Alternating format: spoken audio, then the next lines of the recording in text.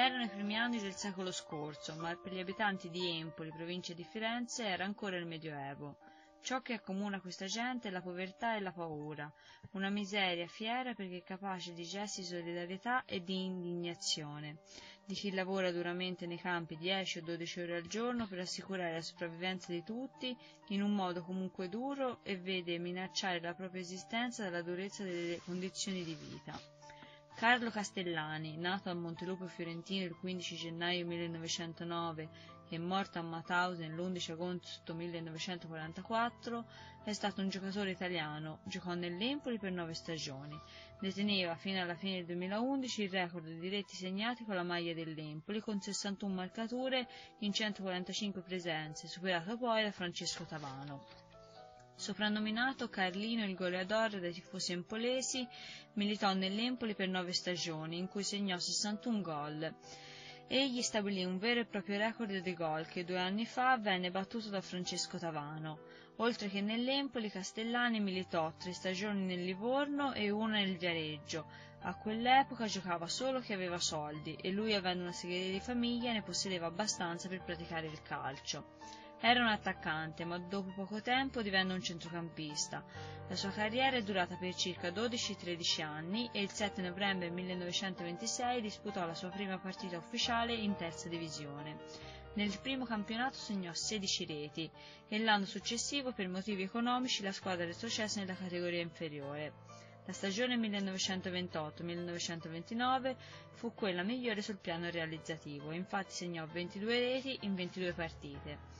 Il 6 gennaio 1929 Castellani segnò 5 reti nella partita Empoli-San Giorgio.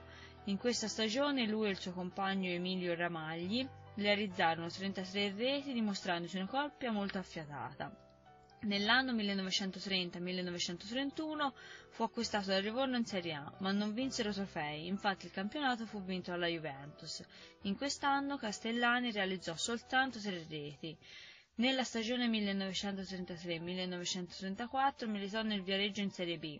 Nel 1935 tornò a giocare a Empoli per gestire la segheria di famiglia.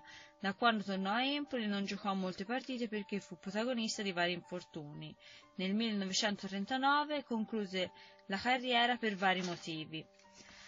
All'epoca l'Empoli era una società calcistica che si trovava in terza divisione ed è stata due anni di seguito in seconda divisione, fino ad arrivare in prima divisione nell'anno 1930. Nel 1931 il nome della squadra fu ribattezzato come Associazione Fascista Empoli. Nell'anno 1935-1936 l'Empoli giocava in Serie C e dopo 12 partite si ritirò per difficoltà economiche. Il segretario fascista, per coprire la situazione negativa dell'Empoli, scrisse su un articolo che i giocatori andarono in guerra in Etiopia e l'Empoli non aveva una rosa per giocare. Il figlio parla della vita del padre, parla della passione che Carlo fin da piccolo ha sempre coltivato, parla della prima presenza in prima squadra con l'Empoli Football Club e del suo addio, se così si può chiamare. Franco, figlio di Carlo Castellani, racconta di quel giorno, di quella mattina durante la quale il padre è stato portato via da casa insieme ad altri abitanti di Fibbiana, località nel comune di Montelupo Fiorentino. Erano le 5 del mattino dell'8 marzo 1944, quando Carlo esce di casa per l'ultima volta. Erano le 5 di mattina e sentii suonare al campanello. Erano le guardie comunali che cercavano il mio nonno.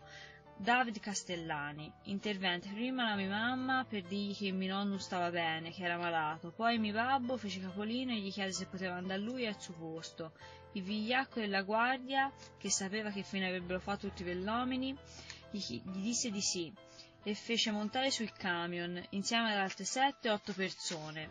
Una volta partiti, fecero prima sosta a Montelupo Fiorentino e ci stettero un'oretta, poi partirono per la stazione di Firenze, dove presero un treno che li portò in Germania e non sono più tornati. Era uno sportivo in babbo, un uomo forte, è morto di essenteria perché mangiava solo erba. La cosa più brutta è che i miei babbo non c'entrava nulla, non volevano lui, volevano il mio.